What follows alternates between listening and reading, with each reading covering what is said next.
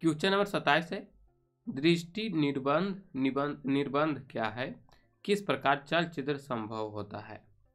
तो आंसर में लिखेंगे, रेटिना पर बना प्रतिबिंब वस्तु के हटाए जाने के वन बाई दस सेकेंड, यानी कि एक सेकेंड के दसवां भाग तक स्थिर रहता है। इसे हम दृष्टि निर्बंध कहते हैं। यदि चलचित्र कैमरे द्वारा खींचे गए अचल चित्रों में दृश्यों के क्रम को किसी पर्दे पर लगभग 24 प्रतिबिंब बनाता है प्रति सेकेंड, यानी एक सेकेंड में 24 फ़ोटो अगर आप देखिएगा तो वो क्या होगा? चलते हुए, यानी वीडियो के रूप में आपको दिखेगा। अथवा इससे अधिक दर पर प्रक्षेपित किया जाए तो प्रतिबिंबों का क्रमागत प्रभाव निर्बाध रूप से एक दूसरे से मिश्रित अथवा विलीन होते प्रतीत होता है।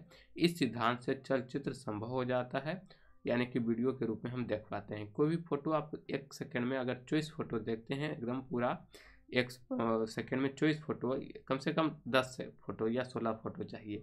लेकिन अभी जो है इंडिया में लगभग पच्चीस फ्रेम एफपीएस पर चलता है, कार्य करता है और और दस में तीस एफ़ पी एस साठ एफ़ पी एस इतना एफ़ पी एस पर कार्य करता है वीडियो। तो आप उसको देखिएगा, जो मेरा वीडियो आप देख रहे हैं, ये तीस एफ़ पी एस यानी एक सेकंड में आप तीस फ़ोटो देख रहे हैं। तो ये आपको चलता हुआ नज़र आ रहा है। अगर इसको अगर एक फ़ोटो देखिएगा तो ये आपको रुका हुआ नज़र आएगा, ठीक है?